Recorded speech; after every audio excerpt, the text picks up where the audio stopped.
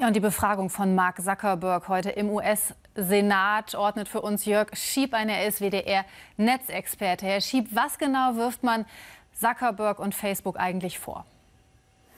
Man wirft ihnen zweierlei Dinge vor. Einmal, dass es Manipulationen gegeben hat im US-Wahlkampf 2016. Da konnten ja russische Quellen, das hat man ja mittlerweile nachgewiesen, durchaus Anzeigen schalten im Facebook-Netzwerk, die nicht unbedingt für eine Partei Werbung gemacht haben, aber die Stimmung gemacht haben, die also den Finger in die Wunde gelegt haben und so für eine Art äh, Stimmungswechsel auch mitunter gesorgt haben in der US-Gesellschaft. Das andere und im Augenblick aktuellere Thema sind natürlich die abgeflossenen Daten von Facebook über diese App, äh, die wir gehört haben an Cambridge Analytica. 87 Millionen Menschen weltweit betroffen, wo nicht nur einzelne Kleinigkeiten von den betroffenen Benutzern weitergegeben wurden an eine Firma außerhalb von Facebook, sondern auch sehr intime Informationen, konkrete Informationen, äh, alles was das Leben betrifft. Also ein sehr starkes Profil. 310.000 Deutsche sind betroffen, das haben wir ja auch gehört, äh, obwohl sie eigentlich gar nichts davon wussten, dass sie in irgendeiner Form was mit Cambridge Analytica zu tun haben könnten. All das wird ihm vorgeworfen, sehr konkret. Im Grunde genommen müsste man ihm sehr viel mehr vorwerfen,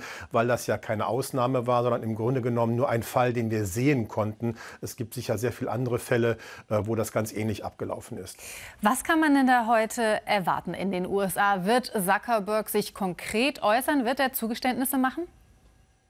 Also Mark Zuckerberg ist jemand, der keine wirkliche Vorstellung davon hat, was es bedeutet, die Daten zu schützen oder überhaupt was für die Gesellschaft zu tun im Übrigen. Denn all das, was äh, passiert ist mit Fake News, mit der Manipulation äh, der, der US-Wahl durch die Anzeigen aus russischer Quelle bis hin eben jetzt zu diesem Fall, das ist ihm alles in der Dimension überhaupt gar nicht klar. Er war ja der Erste, der gesagt hat, es ist albern anzunehmen, dass wir was zu tun haben könnten mit dem Ausgang der US-Wahl. Das hat er mittlerweile zurückgenommen, aber ich glaube nicht, dass er es wirklich verstanden hat. Ich glaube, dass jede Menge Druck Druck im Kongress und im Senat auf ihn ausgeübt wird, aus gutem Grund. Aber das will ja was heißen, wenn eine, ein Land wie die USA, wo Datenschutz keine große Rolle spielt im Grunde genommen, selbst da die Leute aufwachen und sagen, das kann so nicht weitergehen, das muss was passieren. Von daher wird er versuchen, alles zu entschuldigen. Er ist ja auf Entschuldigungstour, aber von einer Entschuldigung haben wir ja nichts. Wir brauchen in der Tat ganz klare Regeln, die bestimmen, welche Daten dürfen überhaupt erhoben werden, welche dürfen gespeichert werden, was darf man mit den Daten alles so anstellen. Da fehlt es ja vollständig, sowohl in den USA als auch bei uns in Europa an Regeln. Und das will er natürlich vermeiden. Deswegen versucht er mit Sicherheit eine Menge zu vertuschen und nur so viel zuzugeben und sich dazu entschuldigen, was sich gar nicht leugnen lässt. Was hat Facebook denn eigentlich bisher getan, um Datensicherheit zu gewährleisten? Nicht viel, weil das, das, größte Interesse von Facebook ist natürlich, möglichst viele Daten zu sammeln. Das ist es auch nach wie vor. Da darf man sich ja keine Illusion machen.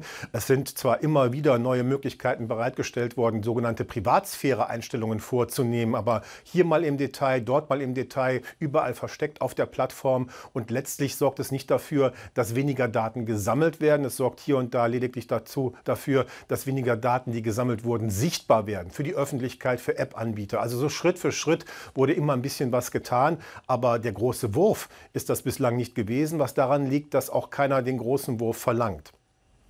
Ein demokratischer Senator hat gesagt, dass das grundsätzliche Problem von Facebook äh, dessen Geschäftsmodell sei.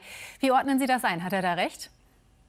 Da hat er absolut recht, denn es ist ein kommerzielles Unternehmen, das ist ja soweit auch legal, das natürlich versucht, möglichst viel Profit aus dem zu schlagen, was das Geschäft ist. Und das, äh, das Geschäft ist Daten sammeln und Daten auswerten. Und da wird alles diesem, diesem äh, Dogma unterworfen. Das heißt, alles, was machbar ist, was nicht wirklich gesetzlich streng verboten ist, wird auch gemacht, weil ein Unternehmen natürlich möglichst viel Profit machen will.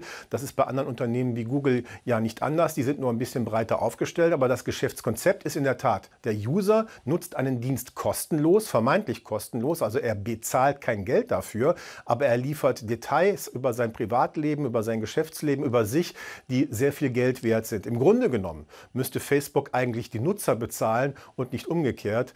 Ähm, das wäre, glaube ich, eine fairere Angelegenheit. Dankeschön, Jörg Schieb, für diese Einordnung.